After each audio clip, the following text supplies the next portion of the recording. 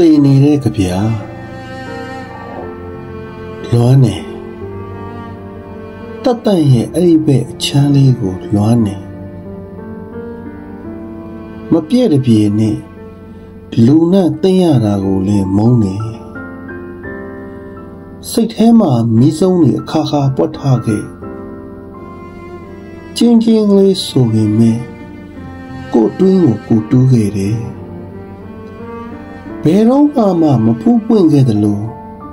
နှစ်တွေဟာပုတ်ကတီဟာကြာခဲ့ပြီဝေးရမှာကိုစပယ်ဖွင့်စာလောက်ကြိုသိပါရဲ့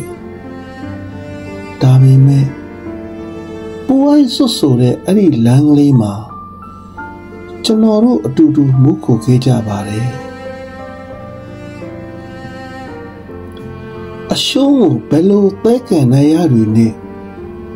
ချေမုံရမှာလဲပြောပါဝန်ခံပါတယ်စောင်းမြအမုံတွေကိုတွေ့တိုင်းတလက်လက်ပြေးကောက်